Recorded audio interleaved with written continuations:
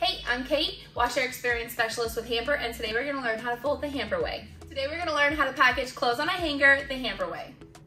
Some members might send hangers to hang up their clothes. If that happens, you are able to fit them back into the hamper.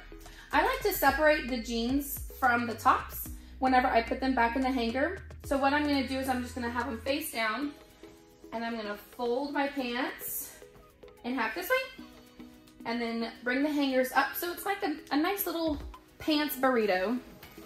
And I'm gonna put those in first.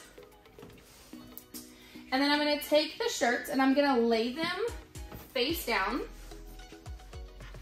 This is where you wanna make sure that all of the different shirt layers are wrinkle free and they're not, you know, folded in on each other. You're gonna fold the sleeves in. This is especially important if they're long sleeves. Um, that way they don't get loose and really wrinkled in this process.